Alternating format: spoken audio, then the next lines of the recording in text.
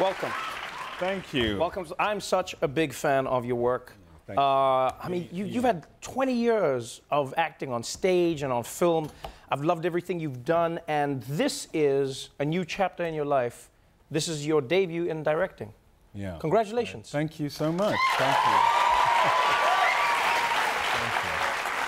Let me, let me ask you this. Is it difficult to direct a film that you are also acting in? It is a little complicated. Yes, yeah, I can imagine. yeah. Cut me. Let me try that again.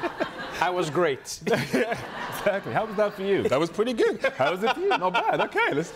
Yeah, um, you know, I was always worried about that. That Right. was the one thing that I was really kind of stuck on as I was going through the process, and just to see how I would respond, you know, on the floor, you know. And the, I think the main thing is is just preparation. Right. You know, it's just preparing. I had a great team of uh, you know heads of department working with me. Dick Pope, an amazing cinematographer, Valerio Bonelli, an editor, and uh, who's terrific. Tule Peak, production designer. So just working with that kind of caliber of person, you know, you feel that you have the space to kind of give it a go. you know. And you, you definitely did give it a go. I mean, it's a beautiful film that is based on a true story. Yeah. It's, it's an amazing film. It's set in Malawi, and um, you actually bought the film rights to this book after, uh, after you, you, you, you read the book. You read the book and you were like, I need to make this into a film. What did you love about the story?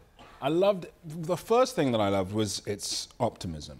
You know, its hopefulness. There's, you know, the story centers on William Kamkwamba, Yes. 13 years old in Malawi, and um, you know the, his his community is going through a famine essentially that's brought on by uh, intense flooding and then a drought. So they and the government has turned their back on them. Price of grain through the roof, and um, you know, and they're in a massive short, shortfall for, Yes. their, for their grain harvest. So uh, he's taken out of school. Secondary school isn't, isn't free in Malawi.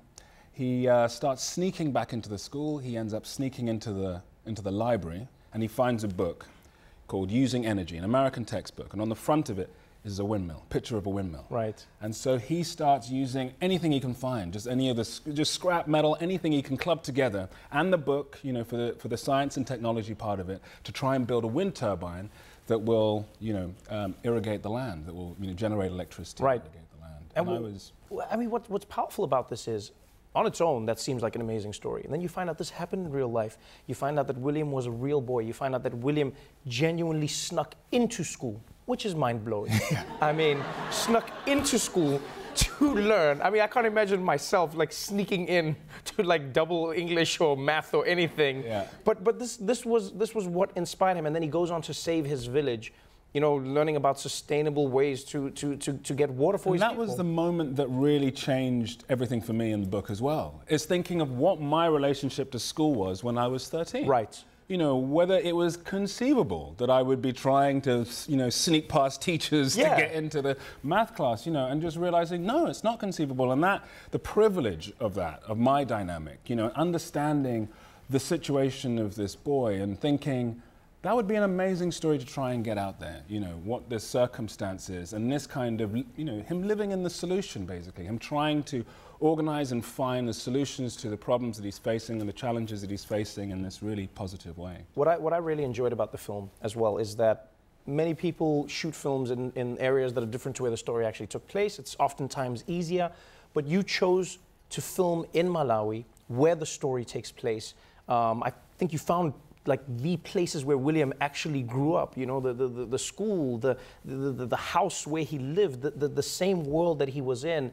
And what was honestly the most impressive, and we saw it a little bit in the film, is that you learned one of the Malawian languages, I think it's Chichewa Yeah, yeah, Chichewa, yeah. you you learned a new language for the film Yeah. and you act in the language Yeah. was i mean this is yeah there's there's authentic and then there's authentic i mean this like you really respected and wanted malawi to be front and center in this why was that important for you and what do you think it added to the film Well, you know, first of all, I wanted the film to feel incredibly authentic, to feel like um, a sort of teleportation experience. I wanted to take the audience into this space, you know, Alice in Wonderland, down the rabbit hole, here we are in this hole. And I wanted to tell the film from the point of view of the people who experienced it. you Right. know. I really felt like, for, you know, we often see these films and we sort of step outside them. We often film films like it. You know, they're telling the story of these hardships or struggles or, um, you know, th- these kind of difficulty and challenges, and we're outside of that perspective.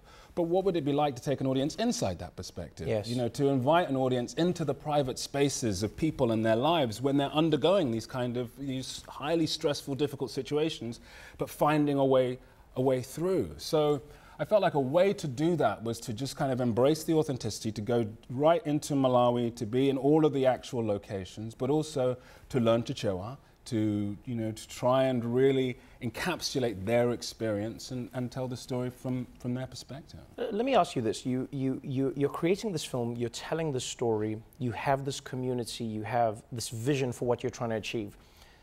There's something very specific that you did in the film, and that is you used sub- subtitles throughout. You also have the people playing between languages. There are moments where people are speaking in English and then they switch into Chichewa and then they come back into English, which for anyone who speaks multiple languages is one of the most authentic ways to speak a language. That's not an easy thing to do, and I can imagine some people would doubt it and be like, hey, why don't they just all speak English? like Somali pirate type vibes, you know? Why are they switching? Because it's a lot easier to do, but, but you had to make that choice. Why?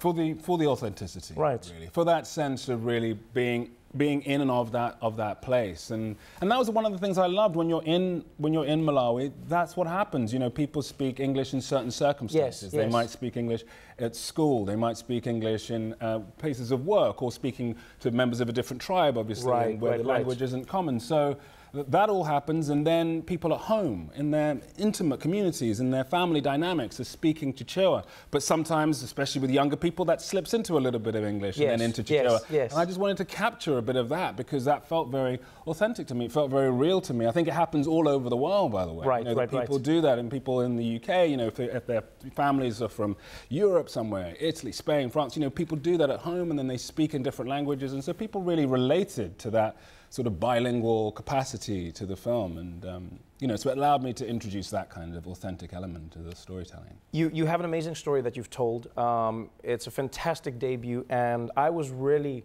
fascinated and, and pleasantly surprised to find out that William is still going. Oh, yeah. He's still in energy. He is now a grown man. I think he works between one of the Carolinas Yeah, North and Carolina. North Carolina and still Malawi. yeah Has he seen the film? He has, yeah. I mean, you know, he's seen it a couple of times now, and he's really excited by it. I mean, he has a kind of, you know, it does take him back into a into a you know traumatic time Right, of, his, right, of his young life, and even though it has all this energy and hopefulness and positivity, and he himself has all of those things, you know, it is that kind of, of balance of Right. remembering this very stressful, you know, difficult time.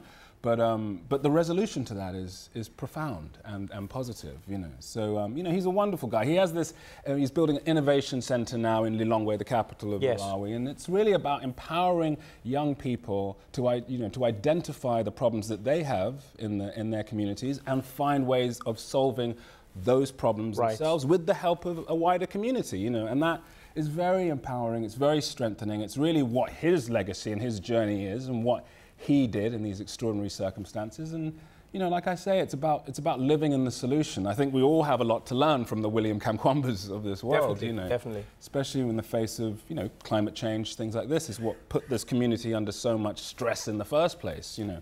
So, um, you know, he's a wonderful man. It's a wonderful story that you've told. Uh, fantastic job acting in it as always. And congratulations. Uh, I think we're going to be seeing a lot of you behind the camera, my friend. Thank you for you. being on the show. The Boy Who Harnessed the Wind premieres in select theaters and on Netflix March 1st. Chiwetel Ejiofor, everybody.